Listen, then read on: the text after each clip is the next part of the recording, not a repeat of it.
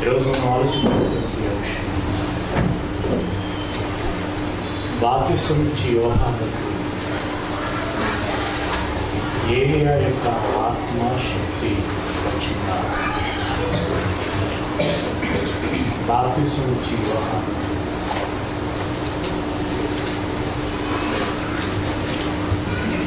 ఏలియా యొక్క ఆత్మ శక్తి వచ్చిందా అనేక అనుమానాలు సంశయాలు అన్నటువంటి సంగతుల్లో ఇది కూడా ఒకటి. ఏది? మలాకి గారేమో ఏలియా మరలా వస్తాడు అని చెప్పారు.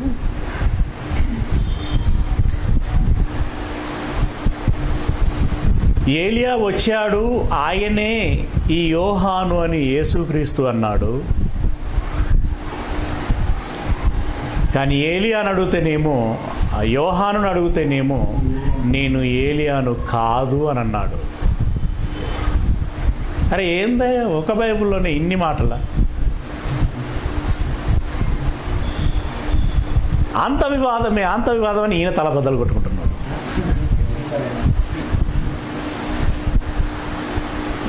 మలాఖీ గారు ఏం చెప్పారు? యోహాను గారు ఏమన్నారు? యేసు ప్రభుల వారు ఏం చెప్పారు?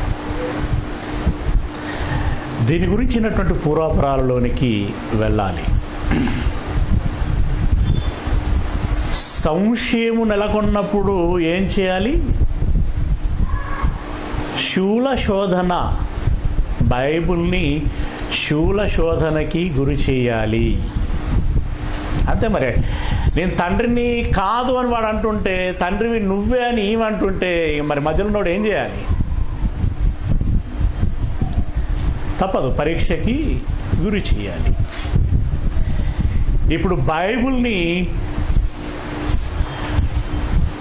పరీక్షిస్తున్నాం ఇప్పుడు. పరిశోధిస్తున్నాం. మలాఖీ గారు ఏమన్నారు? గతంలో ఈ పాఠం చెప్పుకున్నామండి మనం. రాబో ఏలియా ఎవరు అనేటువంటి విషయాన్ని చెప్పుకున్నాం అప్పటికి ఇది సరిపోతుందిలే అని అంతే చెప్పుకున్నాం. కానీ ఇలాంటి వాళ్ళు తలకాయలు బద్దలు కొట్టుకుంటే పాపం ఇది సరిపోవటం లేదు కొంచెం డోస్ పెంచాలి అని అనిపించింది. అంటే డోస్ మీన్స్ విషయం ఇంక కొంచెం ఆ, వారికి సవివరణ అంటే లోతైనటువంటి వివరణ ఇవ్వాలి అని అనిపించింది. అందులో ముఖ్యంగా ఏలియా యొక్క ఆత్మయు శక్తియు కలిగిన వాడై అనేటువంటి పదప్రయోగం ఉంటుంది. దాని భావం ఏంటి? మలాఖీ గారి నుండి మళ్ళొకసారి దాన్ని ఆలోచించుకుంటూ వద్దాం. మలాఖీ గ్రంథము నాలుగవ అధ్యాయం ఐదు ఆరు వచనాలు. మలాఖీ గ్రంథం నాలుగవ అధ్యాయము ఐదు ఆరు వచనాలు. ఏహోవా నియమించిన భయంకరమైన ఆ మహాదినము రాకమునకు భయంకరమైన ఆ మహాదినము రాకమునుపు నేను ప్రవక్త అయిన ఏలియాను మీ యొద్దకు పంపుదును. ఏమండి? ఆ మహాదినము రాకమునుపు ఏలియాను మీ యొద్దకు పంపేదను. ప్రవచనం ప్రవచనం అనంటే నెరవేరేది. మరి నెరవేరాలి కదా? ఎక్కడ నెరవేరింది అని అంటున్నాడు సదరు వ్యక్తి. ఎక్కడ నెరవేరింది అని అంటున్నాడు మామూలుగా గుడ్డిగా. ఒకవేళ మాటకు మాట అని అనుకుంటే. మలాకి చెప్పినట్టుగా ఏలియా వచ్చాడా? సింపుల్గా ఆలోచించుకుంటే. చెప్పండి మీరు. మలాకి చెప్పినట్టుగా ఏలియా వచ్చాడా? ఆయన అంటున్నాడు ఏ క్రైస్తవుడు నాకు ఇంతవరకు సమాధానం చెప్పటం లేదు అంటున్నాడు ఆయన.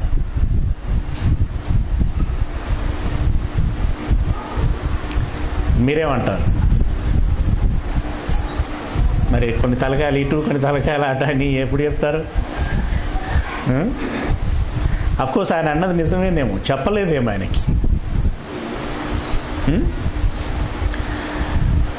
ప్రిలరా మామూలుగా ఆయన ఒక వ్యక్తిగా తీసుకుంటే ఒక వ్యక్తిగా ఏలియా వస్తాడు అనేటువంటి విషయాన్నే తీసుకుంటే అట్లా కూడా ఏలియా వచ్చాడు. రాలే? యేసు రూపాంతరము పొందినటువంటి కొండ మీదకి ఏలియా వచ్చాడు. పో నీ సమాధానం వచ్చింది పో.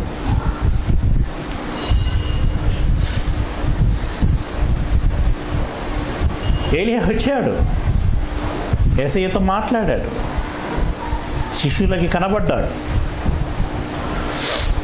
మరల వారు చూస్తుండగానే ఆరోహణమై వెళ్ళాడు. కానీ మలాగి చెప్పింది అది కాదు. మలాగి చెప్పింది అది కాదు. ఏంటి మరి? అది కాదన్నప్పుడు ఇంకా ఒక పెద్ద మిస్టరీగా కనబడుతుంది అది. అంటే ఏలియా ఒక వ్యక్తిగా రాలేదు అని అంటే మరి ఎవరిగా వచ్చినట్టు? ఏమై వచ్చినట్టు? వ్యక్తిగా రాకపోతే వచ్చినట్లు ఎలా అవుతుంది? ఇంకా ఈ ప్రశ్న జటిలం అవ్వటానికి అవకాశం ఉంటుంది.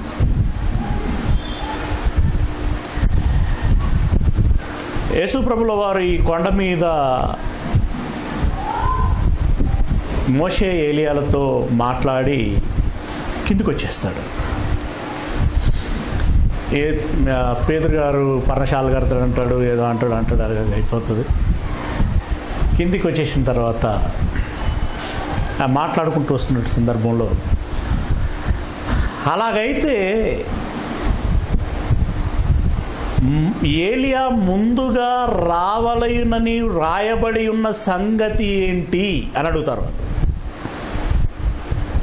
ఆ దినము రాకమునుపు ఏలియా ముందుగా రావలయునని వ్రాయబడినటువంటి ఈ సంగతి ఏంటి? శిష్యులు ప్రశ్నిస్తారు. అప్పుడు సమాధానం ఏసయ్య చెప్పినటువంటిది మనం చూసినట్టయితే మత్తయి సువార్త పదిహేడవ అధ్యాయము పదకొండవ వచనము. మత్తయి సువార్త పదిహేడవ అధ్యాయము పదకొండవ వచనము. అందుకు ఆయన ఏలియా వచ్చి సమస్తమును చక్కబెట్టిన మాట నిజమే. ఏలియా వచ్చి సమస్తమును చక్కబెట్టునను మాట నిజమే. అయినను అయినను ఏలియా ఇదివరకే వచ్చెను. ఏలియా ఇది వరకే వచ్చెను.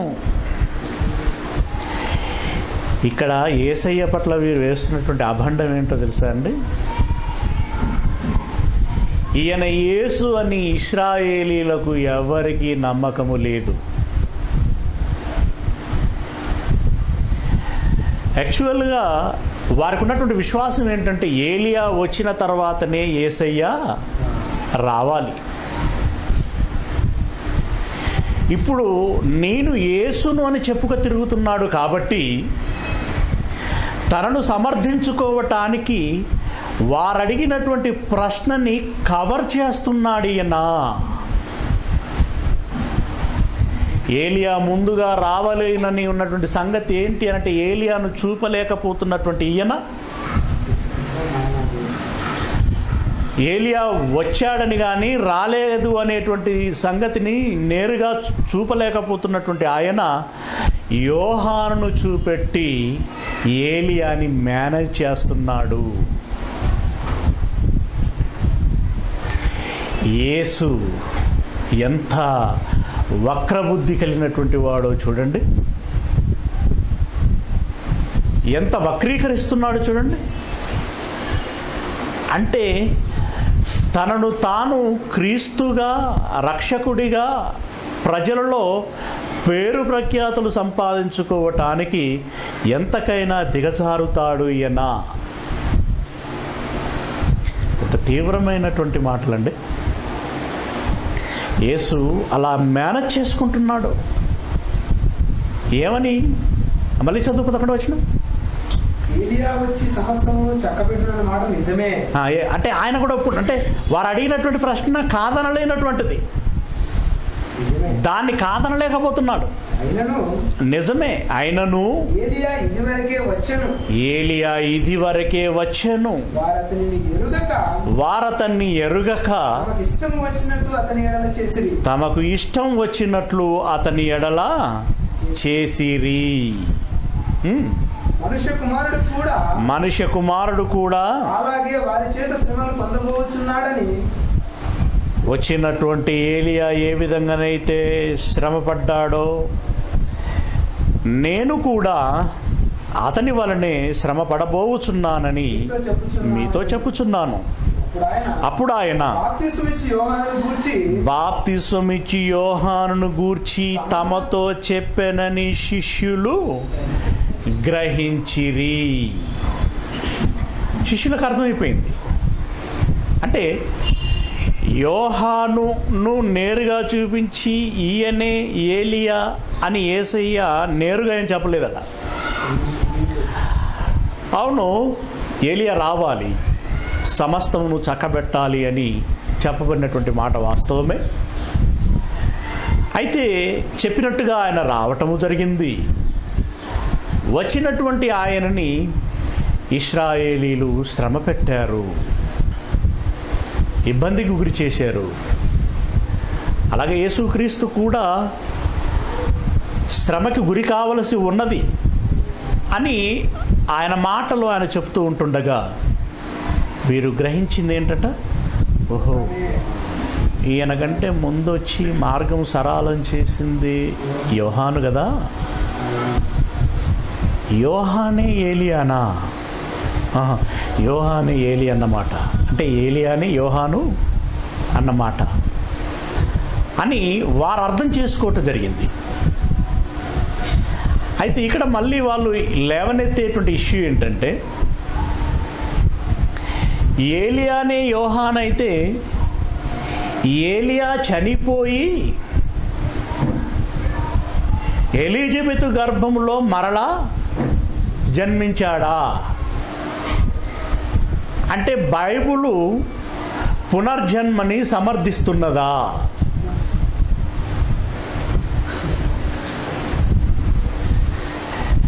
ఎందుకంటే బైబుల్కి ఉన్నట్టు స్టాండ్ ఏంటంటే పునర్జన్మ లేదు మరణించిన తర్వాత స్వర్గమా నరకమా?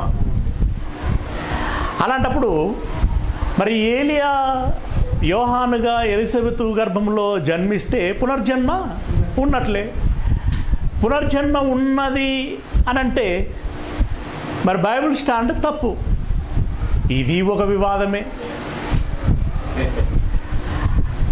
అలా ప్రశ్నల మీద ప్రశ్నలు సంధించటం జరుగుతున్నది మరి ఏలియా యోహానుగా పునర్జన్మనుందాడా ఒకవేళ నొందితే యోహాను నడితే ఆయన ఏం చెప్పాలి? అవును పూర్వజన్మలో నేను ఏలియానయ్యా. ఈ జన్మలో యోహానుగా వచ్చాను అని చెప్పాలి. కానీ ఏలియాని అడుగు ఆ యోహాను అడిగితే ఆయన ఏమంటున్నాడు? యోహాను సువార్త ఒకటో అధ్యాయము ఇరవై ఒకటో వచ్చిన యోహాను సువార్త ఒకటో అధ్యాయము.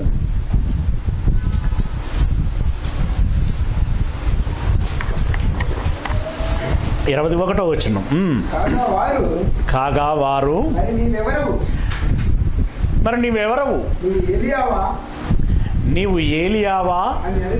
అని అడగగా. అతడు నేను ఏలియాను కాను.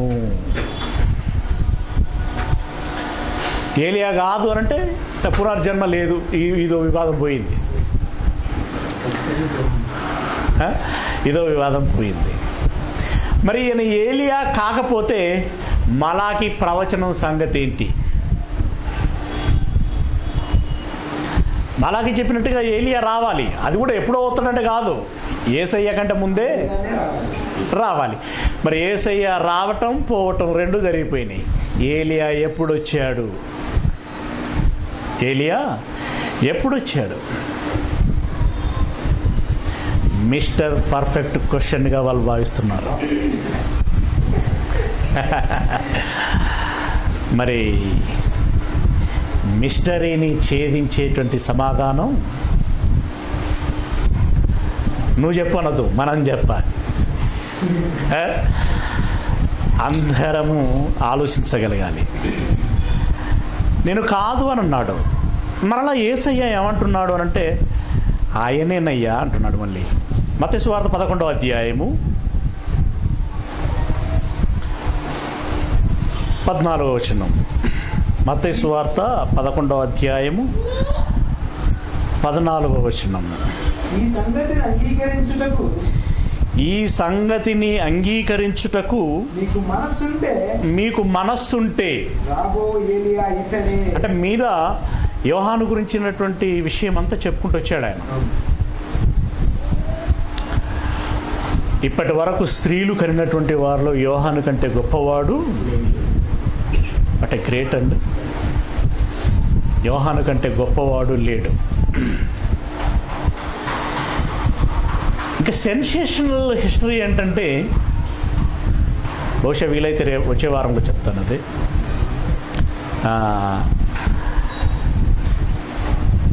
ఏ మెరాకిల్ లేకుండా ప్రపంచంలో నమ్మబడినటువంటి ఏకైక ప్రవక్త? ది బ్యాప్టిజం ఇస్ ఏ యోహాన్ అది ఏంటి అలా అనేటువంటిది వచ్చే వారం ఆలోచించుదాం. పిల్లరా మీరు నమ్మగలిగితే రాబో ఏలియా ఇతడే. చెవులు నీకు చెవులుంటే విను మెదడుంటే ఆలోచించు. ఇప్పుడు ఇద్దరు వీళ్ళిద్దరిలో వివాదం నేను కాదు అని ఆయన అంటున్నాడు ఆయనే అని ఈయన అంటున్నాడు. ఇప్పుడు ఇది ఏం చేయాలి? ఏలియా డిఎన్ఏ యోహాన్ డిఎన్ఏ తీయాలి. అదే కదా వాళ్ళ సమాధులు తవ్వాలి. ఏలియా సమాధి తవ్వుదాం అంటే అది ఎక్కడుందో ఎవరికి తెలియదు. యోహానుదన్నా దొరుకుతుందేమో కానీ ఏలియా దొరకడానికి అవకాశం లేదు. అంటే ఈ ప్రపంచానికి అది సాధ్యమయ్యేది కాదు. ప్రియులరా అయితే ఈ ఇద్దరిలో ఎవరు ఎవరిని అప్రిషియేట్ చేస్తున్నారు? ఒకటి. రెండవది ఎవరు ఎవరిని హెచ్చిస్తున్నారు? మూడవది ఎవరు ఎక్కువ ఎవరు తక్కువ? యోహాను ఏసీఏ గురించి చెప్పాడు నేను ఆయన చెప్పుల వారును విపుటకైనను యోగ్యుడను అంటే నాకంటే గొప్ప ఆయన అని అన్నాడు. యేసు ప్రభుల వారు అన్నారు స్త్రీలు కన్నటువంటి వారు యోహాను కంటే గొప్పవాడు లేడు అని అన్నా. యోహాను గారి యొక్క స్థానాన్ని అతడు డిక్టేట్ చేస్తున్నాడు. పరలోక రాజ్యంలో అత్యల్పమైన స్థానం అతనిది. అంటే ఎవరి పట్ల ఎవరికి కమాండింగ్ ఉంది? యోహాను పట్ల ఏసయ్యకి కమాండింగ్ అంటే అధికారము ఉన్నది. ఇక మూడవ విషయం ఏంటంటే యేసు ప్రభుల వారు ఎవరో పరిశుద్ధాత్ముడు వచ్చి చెప్పేంత వరకు యోహాను గారికి తెలియదు. అది బాప్తిసం తీసుకున్నాం. అదొకటైతే. యోహాను గారు గొప్ప ప్రవక్తే. కానీ పరిపూర్ణుడు మాత్రం కాదు. ఎందుకు అనంటే అన్ని ఎవిడెన్స్లు అతనికి కనబడ్డా. వాటిని బట్టి అతని విషయమే అంత గొప్పగా అతడు వర్ణించగలిగినా. మరలా చివరికి వచ్చేసరికి ఏమన్నాడు? నువ్వు ఆయనవేనా? కాదా. అనేటువంటి ఒక మిస్టరీ ఆయనకు ఉన్నది అని అంటే ఆయనకి సంపూర్ణమైనటువంటి అవగాహన కానీ విశ్వాసము కానీ లేదు అనేటువంటి విషయం మనకు అర్థమవుతుంది. అంటే యేసు ఎవరు అనేటువంటి క్లారిటీ ఆయనకు లేదు. యోహాన్ గారికి. యోహాను ఎవరో ఏసయ్యకు క్లారిటీ ఉన్నది. జ్ఞానమైనటువంటి యేసు. కాబట్టి వీరు వీరిరువురు చెప్పినటువంటి దానిలో వీరిరువురు చెప్పినటువంటి దానిలో ఏది ప్రామాణికమవుతుంది అనంటే ఖచ్చితంగా ఏసయ్య చెప్పినటువంటిదే ప్రామాణికమవుతుంది. ఇంకా చాలా సంగతులు ఏసయ్య గొప్పతనం ఏంటో ఏసయ్యకున్నటువంటి జ్ఞానం ఏంటో ఏసయ్యకున్నటువంటి గ్రహింపు ఏంటో అనేటువంటిది ప్రామాణికము అనేటువంటి విషయాన్ని మనం గ్రహించగలిగినప్పుడు ఆ ఏలియా ఎవరో కాదు యోహానే ఏలియా అని ఏసయ్య చెప్పినటువంటి మాట నిజమవుతుంది. నేను కాదు. అంటే నేను ఏలియానే అనేటువంటి సంగతి యోహానుకు అక్కడ క్లారిటీ లేదు. మళ్ళీ ఒకసారి మనం కూడా ఆలోచించాలి. వాస్తవానికి యోహాను ఏలియానా? కాదు. మీకు గందరగోళం అవుతుంది కదా? ఈ- యోహాను ఏలియానా? అంటే కాదు. మరి ఏలియా చెప్పింది ఇప్పుడు యోహాను చెప్పింది తప్ప ఒప్ప? ఒప్పే. యోహాను చెప్పింది ఒప్పే. అయితే యోహాను ఏ ఆలోచనతో చెప్పినటువంటిది? శిష్యులు ఏ ఆలోచనతోనైతే ఏసయ్యను అడిగారో ఏ ఆలోచనతో అడిగారు? వ్యక్తిగా వస్తాడు అని వారు అనుకుంటున్నారు.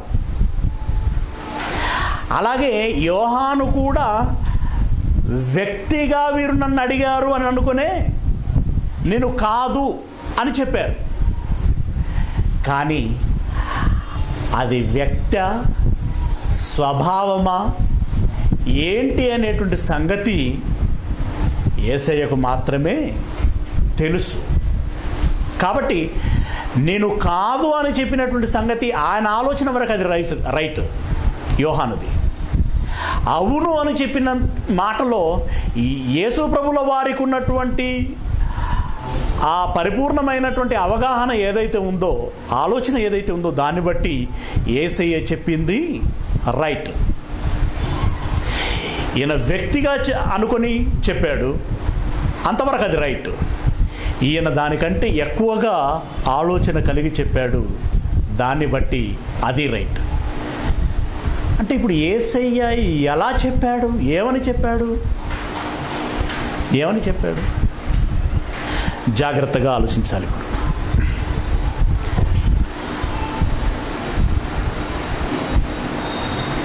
జకర్యా. ఎవరైనా యోహాను యొక్క ఫాదర్ పేరు ఏం పేరు? జకర్యా. ఆయన యుద్ధకి అంటే ఆ తల్లిదండ్రుల యుద్ధకి దేవదూత వచ్చి యోహాను ఎలాంటి వాడో అంటే పుట్టబోయేటువంటి యోహాను ఎలాంటి వాడో చెప్తున్నాడు. లూకాసు వార్త ఒకటవ అధ్యాయము పదిహేడవ వచనం. లూకాసు వార్త ఒకటవ అధ్యాయము పదిహేడవ వచనము. అతడు అంటే ఎవరిక్కడ యోహాను. యోహాను ఏం చేస్తాడంటే తండ్రుల హృదయమును పిల్లల తట్టునకును అవిధేయులను నీతిమంతుల జ్ఞానమును అనుసరించుటకును త్రిప్పి ప్రభు కొరకు ఆయత్తపడి ఉన్నటువంటి ప్రజలను సిద్ధపరచుటకై ఏలియా యొక్క ఆత్మయు శక్తియు గలవాడై ఆయనకు ముందుగా వెళ్ళును ఆయనకు ముందుగా వెళ్ళును యోహాను ఏం కలిగిన వాడై ఏసయ్య కంటే ముందుగా వెళ్ళునట ఆయనకు ముందుగా వెళ్ళునంటే ఏసయ్యకు ముందుగా వెళ్ళును అని. ఏలియా యొక్క ఆత్మయు శక్తియు కలిగిన వాడై. అంటే ఇక్కడ ఏలియా యొక్క ఆత్మ అంటే ఏంటి?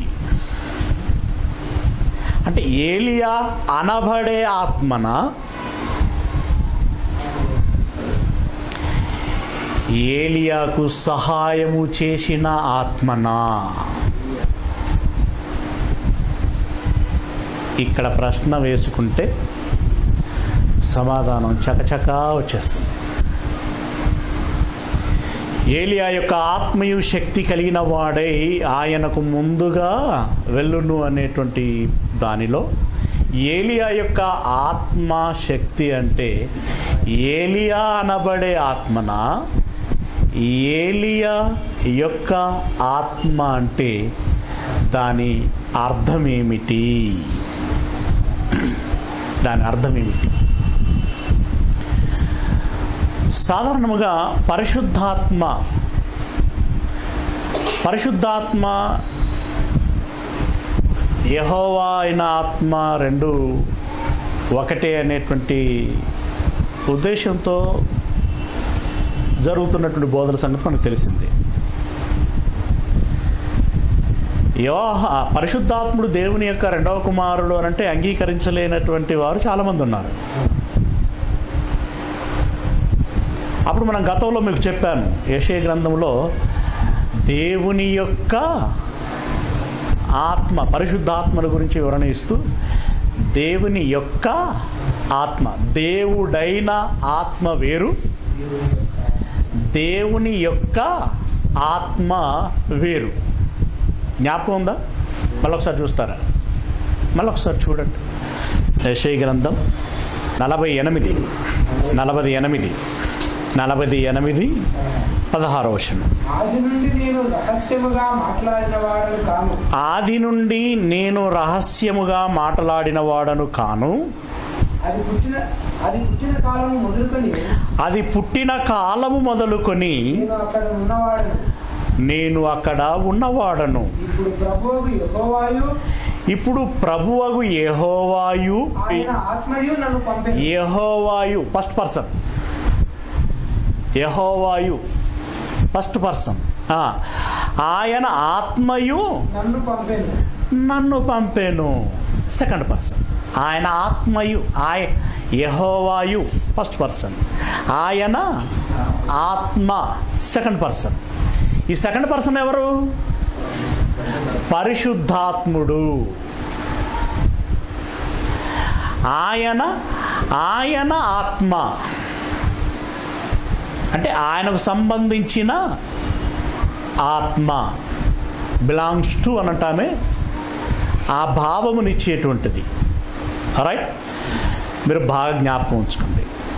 వారిరువురంట ఒక అతన్ని పంపించారు. నన్ను పంపించారు అని చెప్తున్నాడు ఆయన.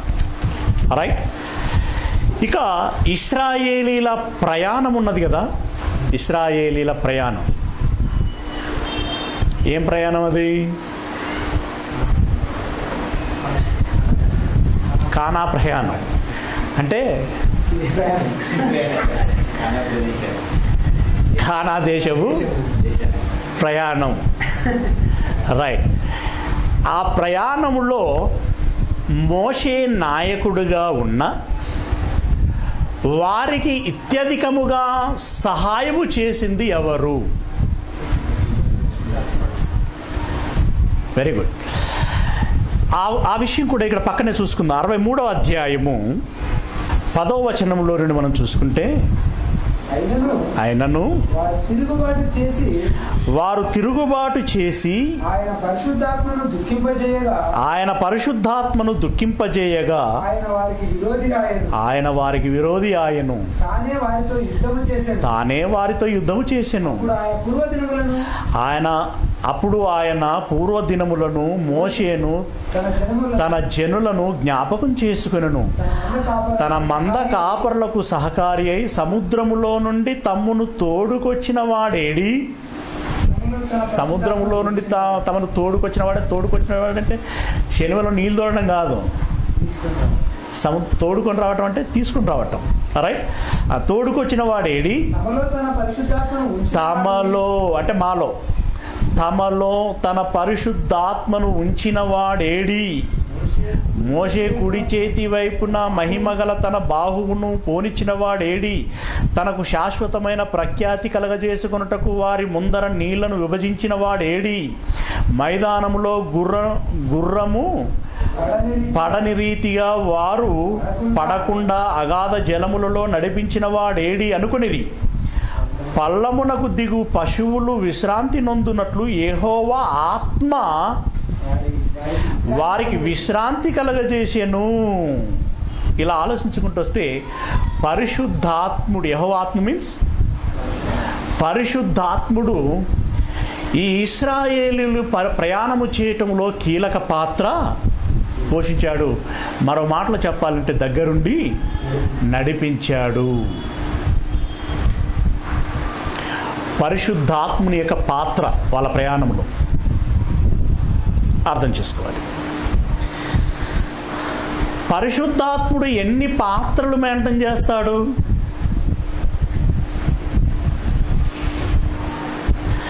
పోని పరిశుద్ధాత్ముడు మనకు ఏ విధమైనటువంటి సహాయాలు చేస్తాడు? లేదా మనల్ని ఎలా తీర్చిదిద్దుతాడు? ఇంకా మనలో ఎలాంటి కార్యములను జరిగిస్తాడు? మనలో ఎలాంటి కార్యములను జరిగిస్తాడు? ప్రియ దేవుని వరలరా కృపావరములు నానా రకములుగా ఉన్నవి.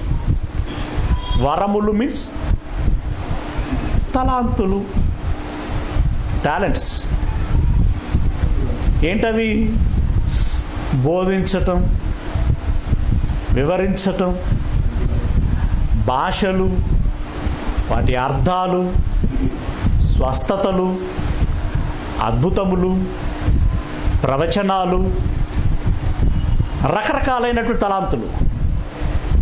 వీటిని వరములు అని అన్నాడు. ఈ వరములను ఎవరు ఇచ్చి ఎవరు చేయిస్తున్నారు? కృపావరములు నానా రకములుగా ఉన్నవి. కానీ అందరిలో అన్నింటినీ జరిగించు ఆత్మ ఒక్కడే. ఏ ఆత్మ? పరిశుద్ధాత్మ ఒకరికి ప్రవచన వరం ఇచ్చి ప్రవచనాలు ప్రవింప ప్రవచింపజేస్తాడు. ఒకరికి స్వస్థత వరం ఇచ్చి స్వస్థతలు జరిగిస్తాడు. మరొకరికి మరొకరి ద్వారా అద్భుత వరం ఇచ్చి అద్భుతములు జరిగిస్తాడు. మరొకరికి భాషల వరం ఇచ్చి భాషలు మాట్లాడిపిస్తాడు. మరొకరికి భాషల అర్థం చెప్పే వరం ఇచ్చి అర్థములు చెప్పిస్తాడు. వీటన్నిటిని జరిగించువాడు ఒక్కడే.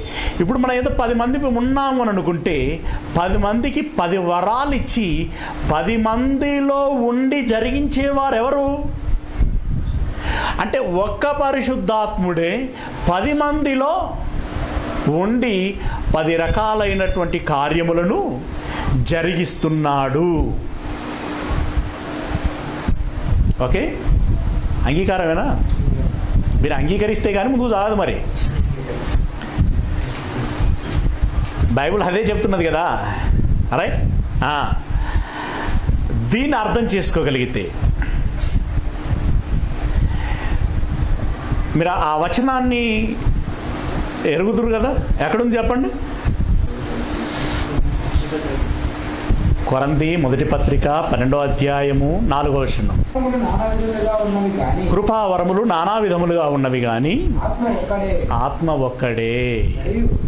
సరే తర్వాత మీరు అది కంటిన్యూ చేసుకోవచ్చు. రైట్ అంటే ఇక్కడ ప్రభావముగా ఈ కార్యములన్నీ జరిగించింది యేసుక్రీస్తు తదనంతరము కృత నిబంధన కాలములో అనేటువంటి విషయం ఇక్కడి వచనాన్ని బట్టి అర్థమవుతుంది కొరది పత్రికలో. కానీ క్రీస్తుకు పూర్వము పరిశుద్ధాత్ముడు భూమి మీద పనిచేశాడా? అంటే ఇప్పటికే ఉదా- ఉదాహరణ తీసుకున్నాం. ఇస్రాయల్ నడిపించింది ఆయనే అని. ఇస్రాయేలీలను నడిపించినప్పుడు మాత్రమే ఉన్నాడా? ఇంకా తర్వాత కూడా ఉన్నాడా?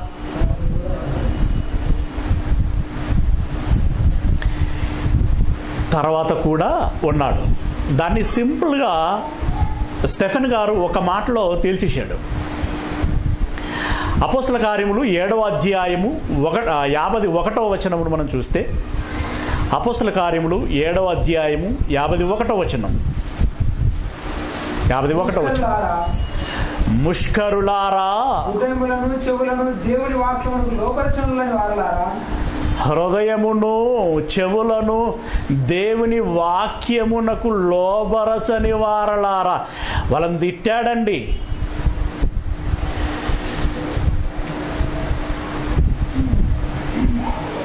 హృదయమును చెవులనట దేనికి లోపరచలేదట వా- దేవుని వాక్యమునకు లోపరచనులని మీ పితరుల వలె మీరును మీ పితరుల వలె మీరును ఎల్లప్పుడూ పరిశుద్ధాత్మను ఎదిరించుచున్నారు. ఎల్లప్పుడూ పరిశుద్ధాత్మను ఎదురించుచున్నారు. పితరులు ఎల్లప్పుడూ ఏం చేశారట? పీతరులు పితరులు ఎల్లప్పుడూ పరిశుద్ధాత్మను ఎదిరించారంటే పితరుల కాలం అంతట్లో పరిశుద్ధాత్ముడు పర్యవేక్షణ చేస్తూనే ఉన్నాడు. పాపం ఆయన ప్రయాణాలు అంతా ఇంత కాదండి.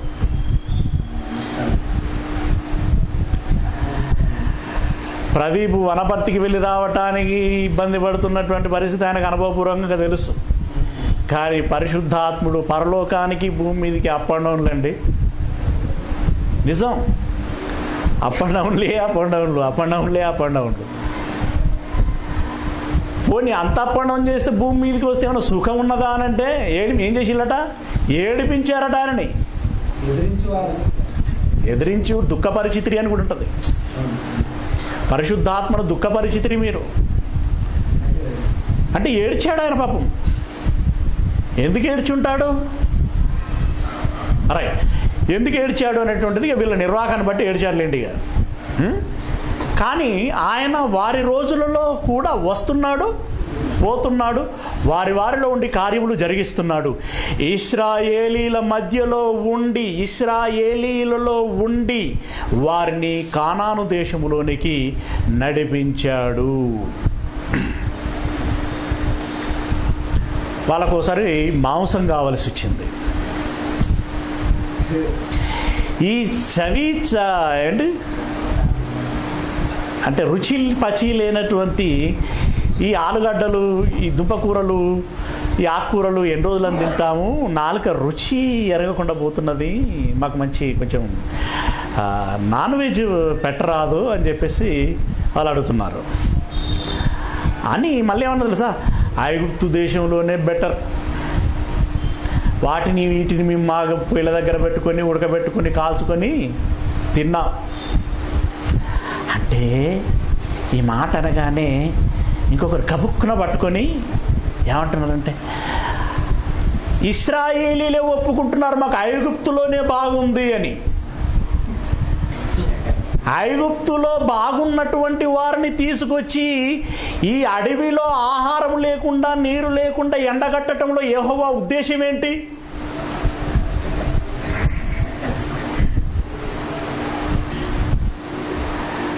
మేము అక్కడ ఆకాశ దేవతను ఈ దేవతను ఆ దేవతను కొలిచాం. మేము మళ్ళీ అదే కొలుస్తాం. మేము అప్పుడే బాగున్నాము అని వాళ్ళు అన్నారు. వీళ్ళేమో విగ్రహారాధన చేయకూడదు నన్ను తప్ప ఇంకొకరిని పూజించకూడదని యహోవానేమో ఈర్ష్యపడుతూ ద్వేషం కక్కుతూ కారాలు మీరాలు దువ్వుతూ కత్తులు కటోరాలు ఎక్కువ పెడుతూ వారిని చంపేస్తున్నాడు. ఏహోవా యొక్క దుస్థితి చూడండి అని అంటున్నారు. ఆ ప్రశ్నలండి అబ్బాబ్బాబ్బా అలా ప్రతిదానికి మాట్లాడుకుంటూ పోతే నిజంగా నా జీవితకాలానికి సరిపోయేటువంటి మ్యాటర్లు ఉన్నాయి అని అనిపిస్తుంది నాకు. వారం వారం వారానికి ఒకటి కదా. అవన్నీ జాగ్రత్తగా గమనించుకుంటూ పోతే వైట్ పేజ్ అంతా నల్ల పేజ్ అవ్వాల్సిందేనండి. ప్రశ్నలే ప్రశ్నలు ప్రశ్నలే ప్రశ్నలు. అంటే ఇవి ఇదివరకు మనం చదవనివి కావు మనకు రానివి కావు అవి.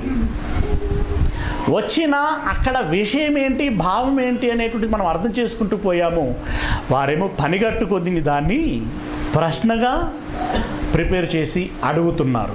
మరి అడిగే అడిగే వారికి సమాధానం చెప్పమని మళ్ళీ చెప్పాడు కాబట్టి ఇక సమాధానం చెప్పటానికి ఈ విధమైనటువంటి ప్రయత్నం చేయవలసి వస్తున్నది. సరే ఇస్రాయేలీలలో ఉన్నది ఆయన. అయితే వీళ్ళు మాంసమును అడిగినటువంటి సందర్భంలో పాపం వల్ల ఒత్తిడి ఎక్కువైపోయిందండి. ఆయనేమో ఆకాశం ఉన్నాయి ఈయనేమో నేల మీద ఉన్నాయి. వాళ్ళేమో వాళ్ళకేమో దేవుడు కనపడ్డాయి. కనపడ్డది వాళ్ళకు దొరికింది మోసేనే. ఏమయ్యా? అని అన్నారు ఆయన్ని. ఈ ఒత్తిడి ఆ ఒత్తిడి తట్టుకోలేక పాపం ఆయన ఏడ్చాడు. మోషి ఏడ్చాడండి. వీళ్ళెవరో సుంకేసులు అన్నారట. మోసే అంతటోడు చెప్తే ఇస్రాయేలీలు వినలేదు. అయినా ఆయన సహనం కలిగి వాళ్ళని నడిపించుకోలేదా? ఏదో మేము వినలేదని రమేష్ అన్న అలగడం ఏంది? ఓపిక కలిగి ఆయన వచ్చి చెప్తూనే ఉండాలి. మేము ఏడిపిస్తూనే ఉంటాం.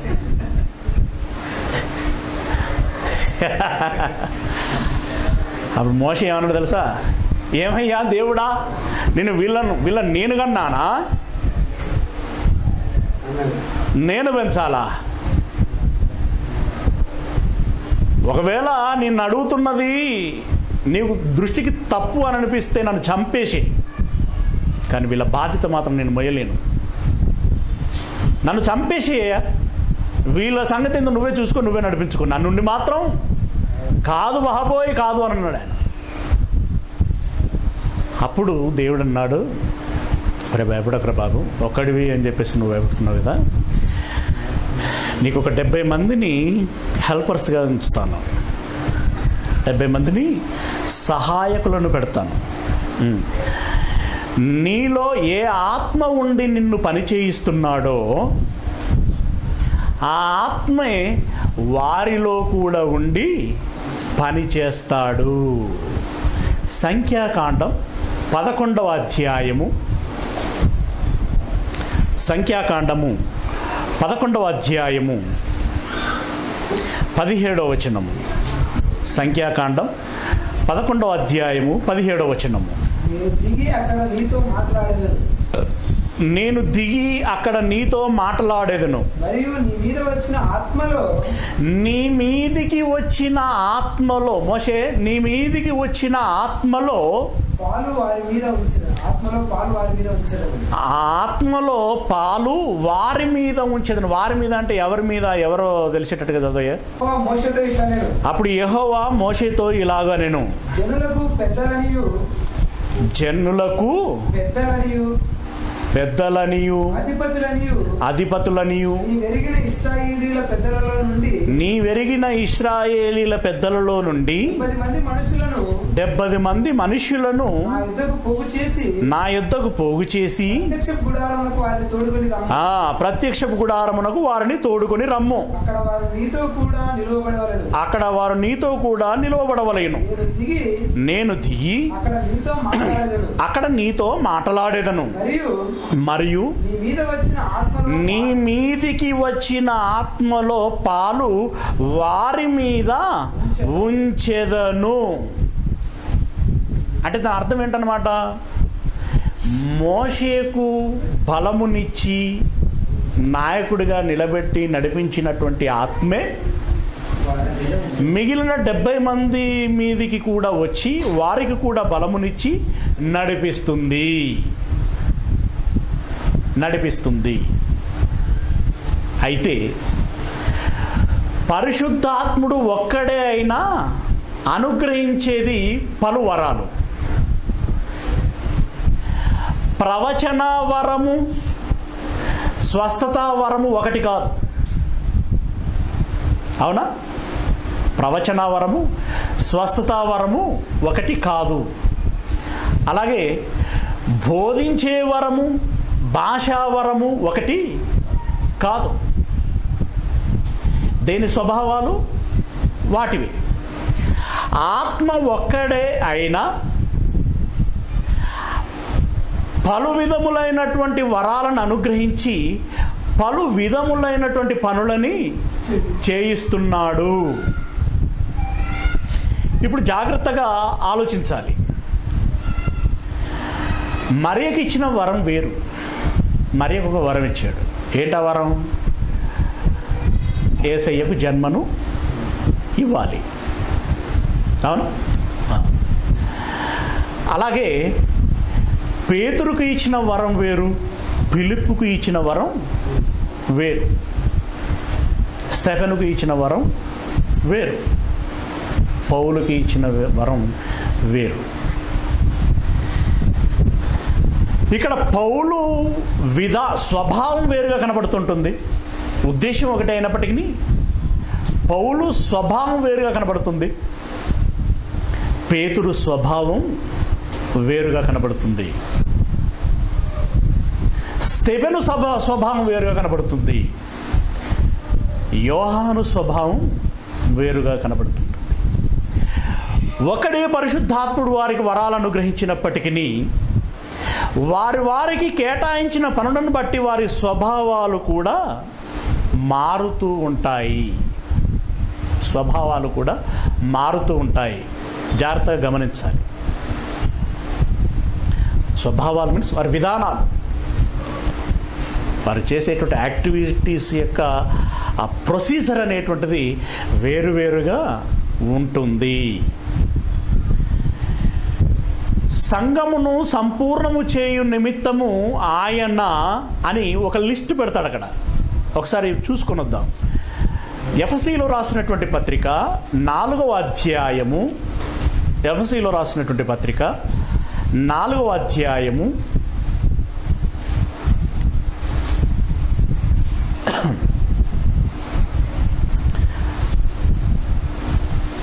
పన్నెండో పదకొండవ వచనం నుండి మనం చూస్తే పదకొండవ వచనం నుండి మనమందరము విశ్వాస విషయంలోను దేవుని కుమారుని గూర్చిన జ్ఞాన విషయంలోను ఏకత్వము పొంది సంపూర్ణ పురుషుల మగు వరకు అనగా క్రీస్తునకు కలిగిన సంపూర్ణతకు సమానమైన సంపూర్ణత కలవారమగు వరకు ఆయన ఈలాగు నియమించేను. పరిశుద్ధులు సంపూర్ణలగునట్లు క్రీస్తు శరీరము క్షేమాభివృద్ధి చెందుటకును పరిచర్య ధర్మము జరుగుటకును ఆయన కొందరిని అపోస్తలను గాను కొందరిని ప్రవక్తలను గాను కొందరిని సువార్థికులను గాను కొందరిని కాపరులను గాను ఉపదేశకులను గాను నియమించేను. కూడా ఉంటుంది. ప్రవచనం. ఉదాహరణకి ఆశీర్వాదపు ప్రవచనం ఉంటుంది. శాపపు ప్రవచనము ఉంటుంది. ఆశీర్వాదపు ప్రవచనం ఇచ్చేటప్పుడు ఎక్స్ప్రెషన్ వేరుగా ఉంటుంది.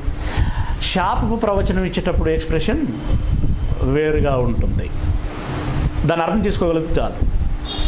అలాగే ఒక్కొక్కరికి ఒక్కొక్క వరం ఇచ్చాడు. ఆ వరాలను బట్టి వారి స్వభావాలు ఉండటం అనేటువంటిది జరుగుతూ ఉంటుంది. ఉదాహరణకి మోషే సాత్వికుడు. మరి అంత ఓపిక ఉంటే కానీ అన్ని సంవత్సరాలు వాళ్ళని నడిపించలేడు. అలాంటి స్వభావమే ఏసయ్యలో ఉన్నట్టుగా మనం చూస్తూ ఉంటాం. సాత్వికుడు.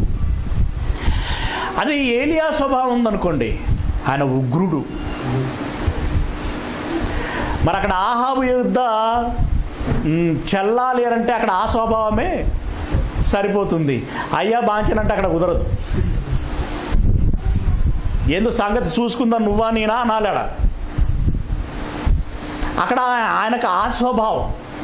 మరి ఇప్పుడు ఏలియాలో ఉన్న ఆత్మ ఎవరు? మోషేలో ఉన్న ఆత్మ ఎవరు?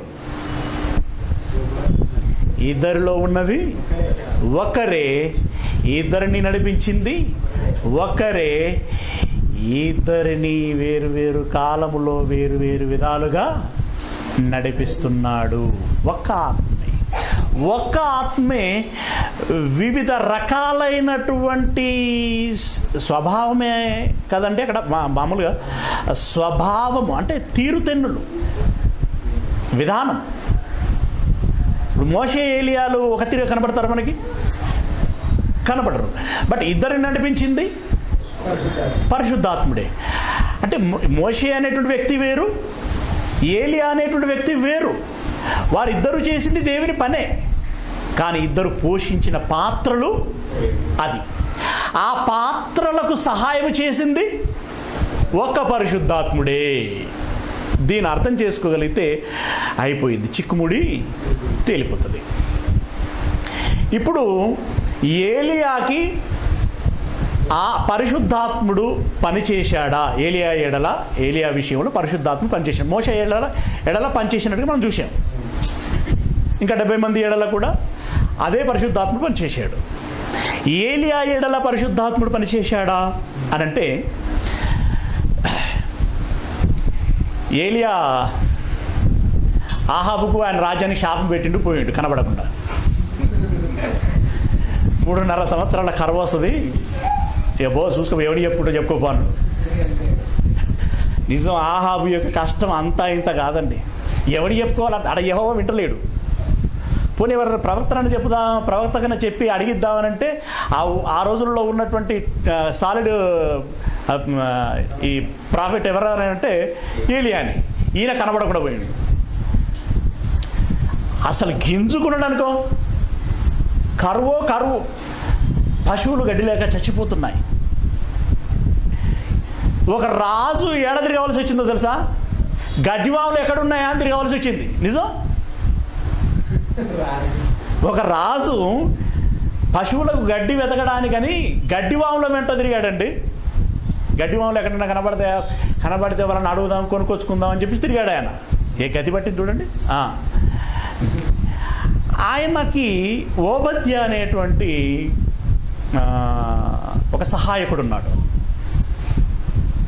ఈ ఓబద్య మంచి భక్తుడు. ఆహాబేమో యహోవాకి విరుద్ధంగా పనిచేస్తున్నటువంటి వాడు అప్పటికి. కానీ ఆ విరుద్ధంగా పనిచేస్తూ ఏం చేశాడు?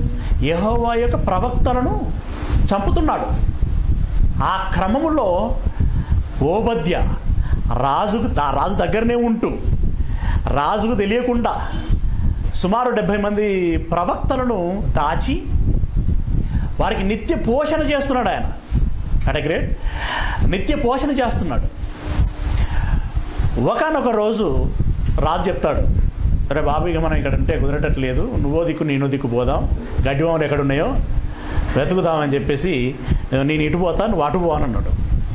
ఓ మధ్య ఓ దిక్కు పోయాడు రాజు ఒక దిక్కు పోయాడు. యాదృచ్ఛికంగా లేకుంటే దేవుని ప్రణాళిక.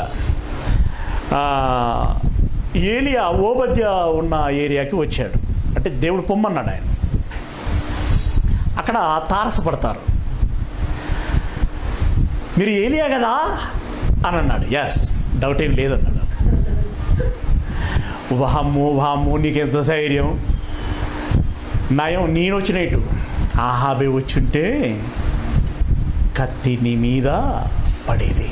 ఎంత ఉగ్రుడై ఉన్నాడు తెలుసా? అంత లేదులే కానీ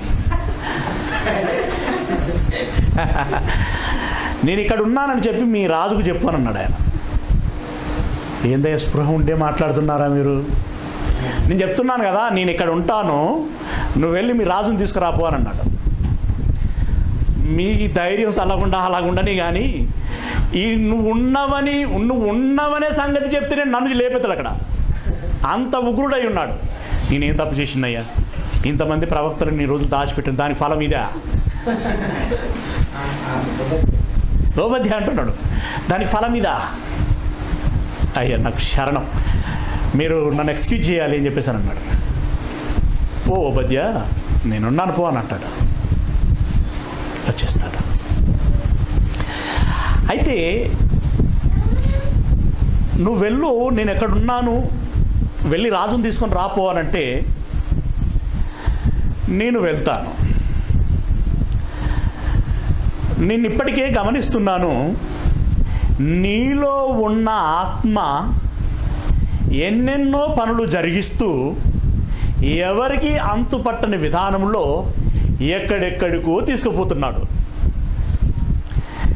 నేనెళ్ళి పలాని చోట ఏలియా ఉన్నాడని రాజుకు చెప్పి ఆయనను తీసుకొని వచ్చే అంతలో నీలో ఉన్న ఆత్మ మరెక్కడికైనా నిన్ను తీసుకెళ్ళాడు అనుకో ఏంటో నాతో పరాష్కాలు ఆడుతానవా అని ఆహాబు అంటే అంటే అని ఊరుకుంటాడా ఊరుకుంటాడా? అయ్యా. అని అంటారు అంటే ఇక్కడ ఓబత్య అన్నటువంటి అంటే ఆయన అను ఆయన అనుభవంగా ఎరిగినటువంటి విషయం ఏంటంటే ఏలియాలో ఆత్మ ఉన్నాడు. ఆత్మ ఏలియా చేత పని ఈ మాటలు మాట్లాడించింది ఆయనే. ఆ పొయ్యి మండించింది ఆయన్ని అంటే ఏలియాలో ఉండి ఆ పవర్ఫుల్ డైలాగులు పేల్చింది ఆయనే.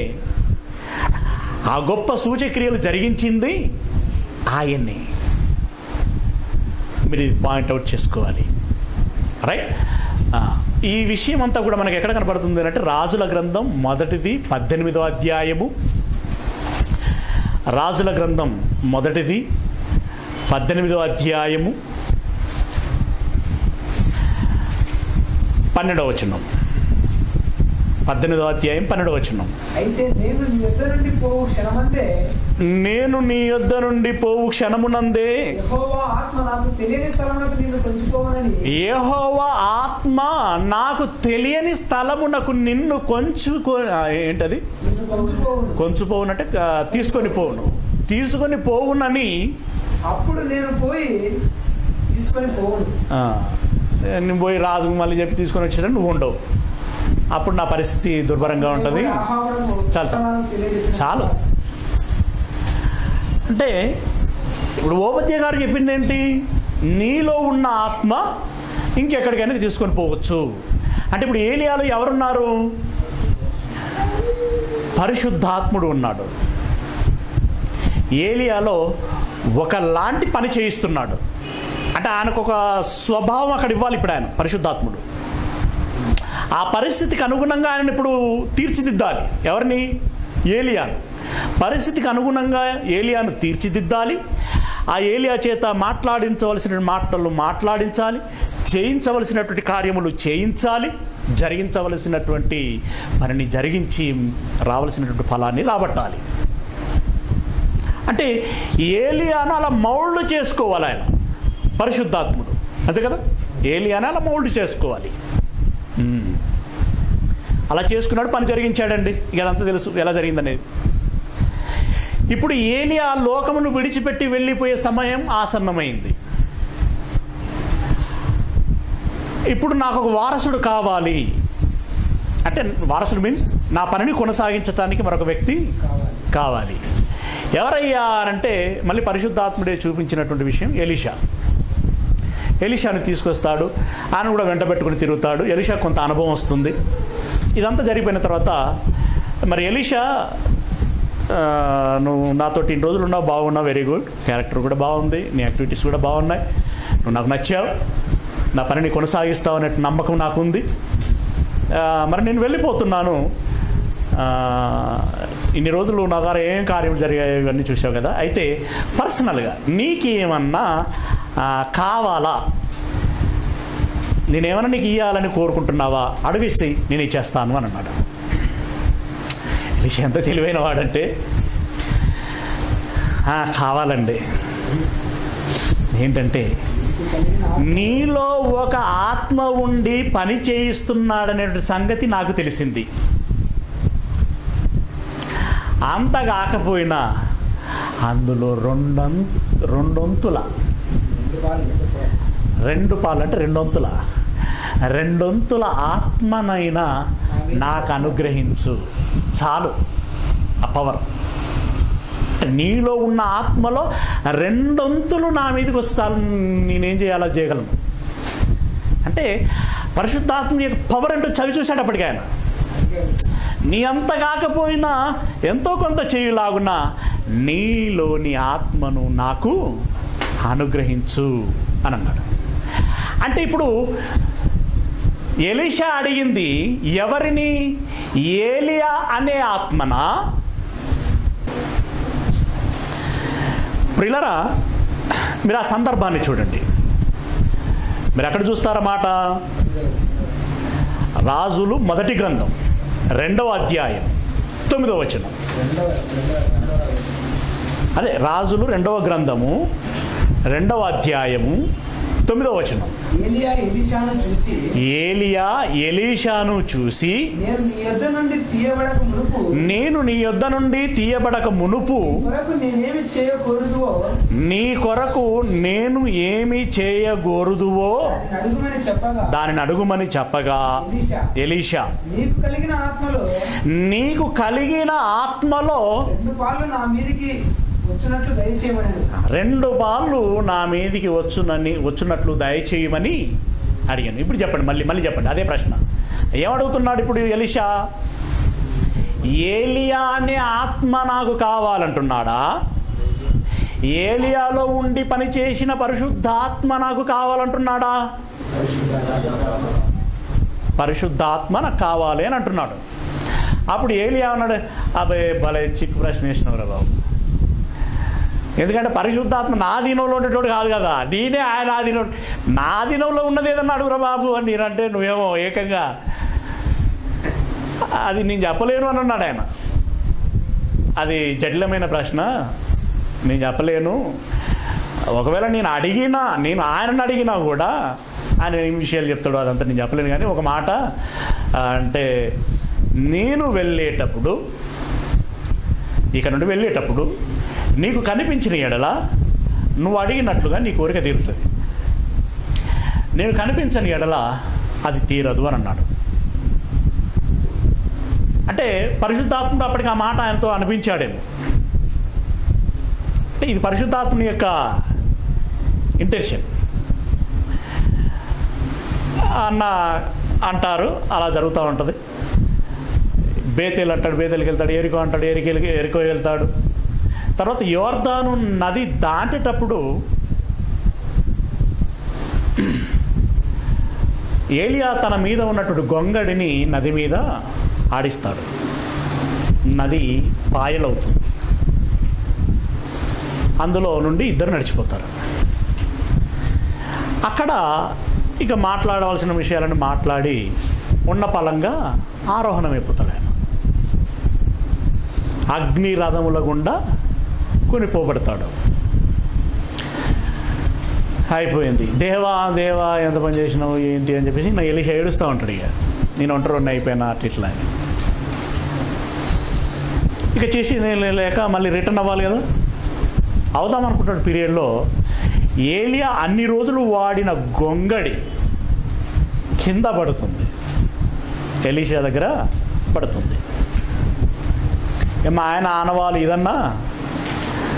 అంటే మా నాయకుడు మా గురువు యొక్క ఆనవాలు ఇదైనా ఉన్నది అని చెప్పి ఆ గొంగడి ఈయన మీదేసుకొని తిరిగి వస్తుంటాడు మళ్ళీ నా దొడ్డం వస్తుంది.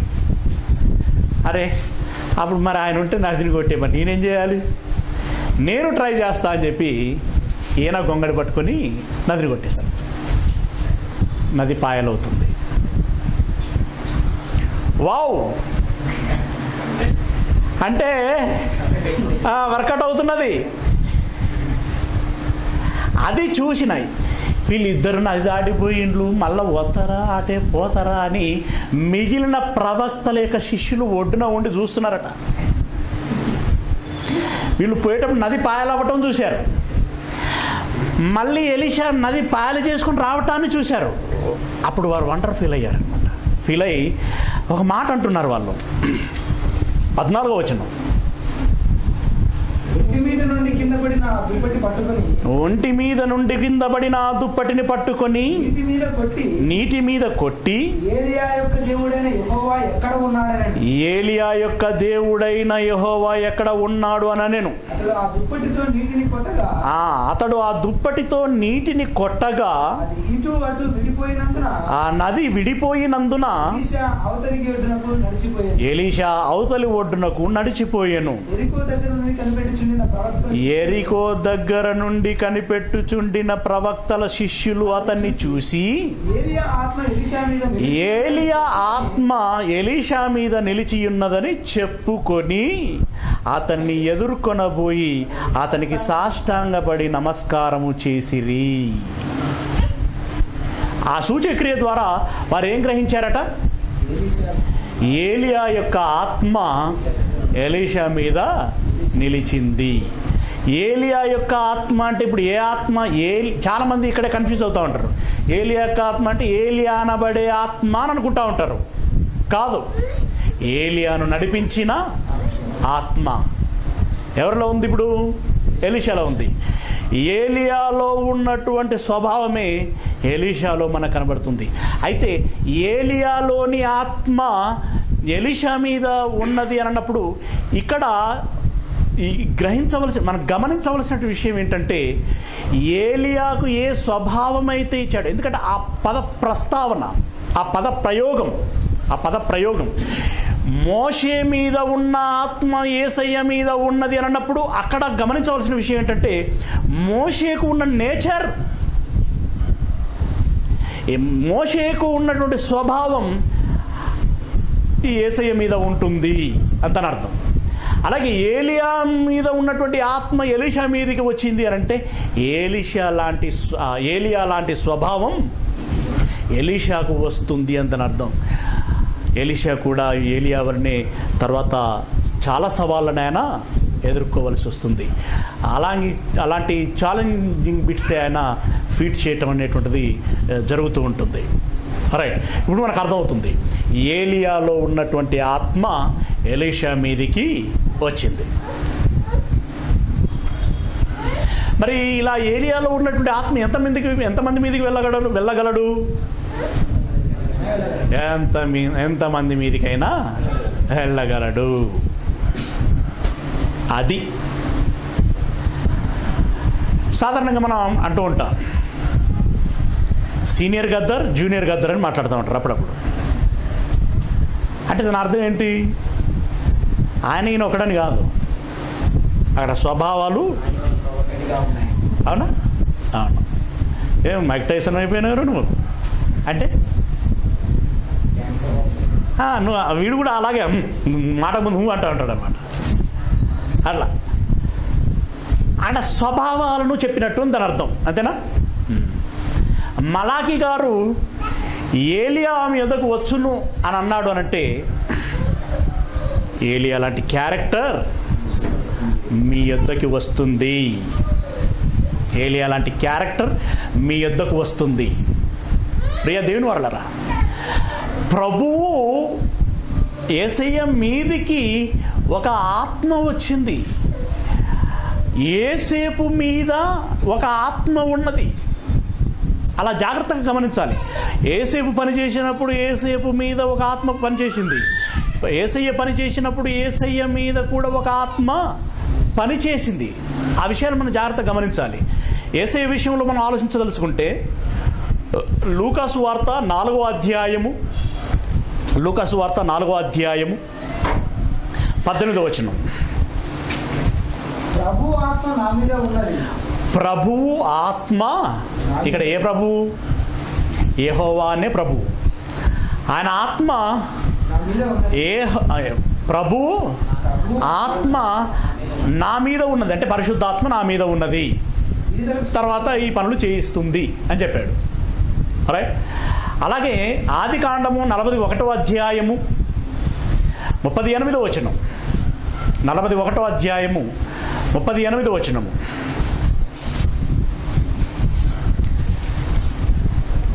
అతడు తన సేవకులను చూచి అతడు తన సేవకులను చూసి ఇతని వలె దేవుని ఆత్మగల మనుషుని కనుగొనగలవా? అని అనేది ఏంటి సందర్భం ఇది?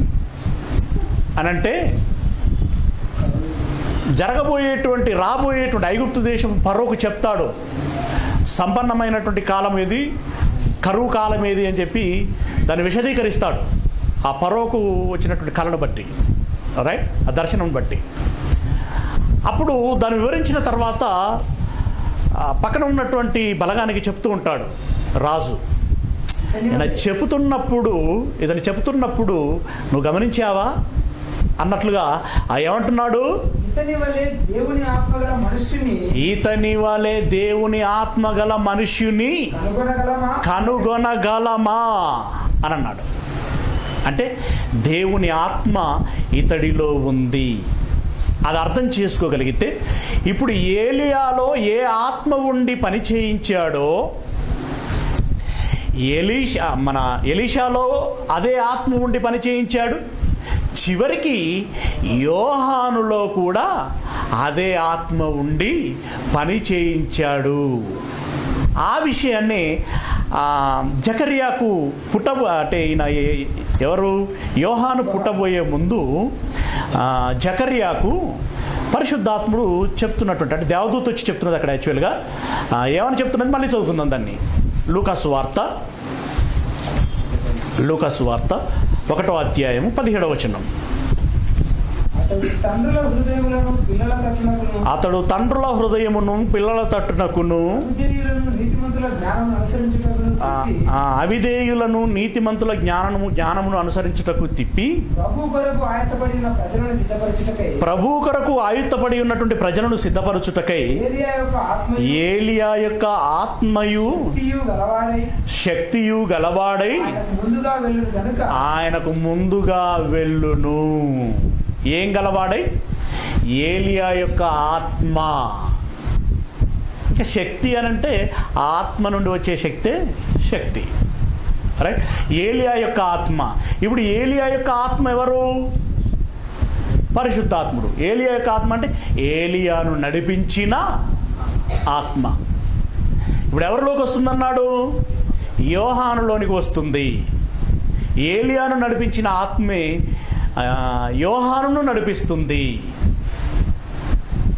ది సేమ్ టైం ఏలియాను నడిపించినప్పుడు ఏలియాకి ఎలాంటి స్వభావమునైతే ఇచ్చిందో యోహాను నడిపిస్తున్నప్పుడు యోహాను కూడా అలాంటి స్వభావమునే ఇస్తుంది. సర్ప సంతానమా ఎవడు చెప్పాడు నీలమును మనం మీకు? గొడ్డలి చెట్టు వేరున? ఉంచబడి ఉన్నది ఖబర్దార్ డైలాగులు ఎలా ఉన్నాయి? ఏలి నేచర్ అదనమాట అలాంటి స్వభావము వస్తుంది అని చెప్పటానికి చేసినటువంటి పదప్రయోగమే ఇదిగో ఏలియా రాబోతున్నాడు. ఏలియా ఆత్మ యోహాను మీద ఉన్నది. ఏలియా శక్తి యోహానుకి వచ్చింది అని చెప్తున్నాడు. అలా ఏలియా మరలా వచ్చును అనేటువంటి మాటకి ఉన్నటువంటి భావం అది. ఏంటది? ఒక మాటలో చెప్పండి. లేదా ఒక సెంటెన్స్లో చెప్పండి. ఒక సెంటెన్స్లో. అంటే ఏలియాను నడిపించినటువంటి ఆత్మ ఏలియాకు ఎలాంటి స్వభావం ఇచ్చి నడిపించిందో యోహానికి కూడా అలాంటి స్వభావమునిచ్చి నడిపిస్తుంది కనుక యోహాన్ని ఏలియాతో పోల్చటం జరిగింది. లేదా ఏలియా అనేటువంటి పద ప్రయోగము చేయటం జరిగింది. అది అక్కడ భావం. సరే సదరు వ్యక్తులకి సమాధానం వెళ్ళింది. మనకులో ఉన్నటువంటి సంశయం కూడా తీరింది అని నేను అనుకుంటున్నాను. రైట్? విషయం అలా ఉంచితే అసలు ఈ మొత్తంగా ఈ పాఠం ద్వారా మనం నేర్చుకోవలసిందేంటి? మనం గమనించవలసిందేంటి? మనం గమనించవలసింది ఏంటంటే ఒక మోషేలాగా ఒక ఏలియాలాగా ఒక యోహానులాగా ఒక ఏసయ్యలాగా ఒక యోసేపులాగా సత్ప్రవర్తన కలిగి దేవుని ఎందు కాంక్ష ఉండి ఏదైనా చేయాలి అనేటువంటి ఆ దృక్పథం మనలో ఉన్నట్లయితే దేవుడు మనల్ని వాడుకోవటానికి ఇష్టపడతాడు. ఇష్టపడినప్పుడు పరిశుద్ధాత్మను మన యుద్ధకు పంపించి మనకు కూడా ఏదో అంటే అవసరాన్ని బట్టి ఏదో ఒక వరమును మనకు అనుగ్రహించి ఆ వరము మనలో పని చేయించి పని తీసుకుంటాడు జరిగిస్తాడు. నేను కూడా ఈ జీవితానికి సార్థకత జరగాలి అని అంటే దేవుడికి ఏదో ఒక విధంగా వాడబడాలి అనేటువంటి ఇంటెన్షన్ మనలో ఉంటే అందుకు తగినటువంటి అర్హత కూడా మనలో ఉంటే మనకు ఆ ఆత్మను పంపించి ఏ ఆత్మను? పరిశుద్ధాత్మ మీన్స్ ఇక్కడ మోషేల్ మీద ఉన్న ఆత్మ అక్కడ స్వభావం తీసుకోవాలి మళ్ళీ. ఏసేపు మీద ఉన్న ఆత్మ లేదా ఏలియా మీద ఉన్న ఆత్మ ఇలా లేదా పేతురు మీద ప- పౌలు మీద ఉన్నటువంటి ఆ ఆత్మలో మనకు కూడా భాగము కల్పించి మనల్ని వాడుకోవటానికి దేవుడు ఇష్టపడతాడు. మీరు వాడబడటానికి ఇష్టమేనా? ఇష్టమే అయితే మనం హృదయపూర్వకంగా స్వాగతిస్తే దేవుడు మనల్ని కూడా తన ఆత్మను పంపించి వాడుకోవటానికి ప్రయత్నం చేస్తాడు. గాడ్ బ్లస్ యూ ప్రార్థన చేసుకుందాం.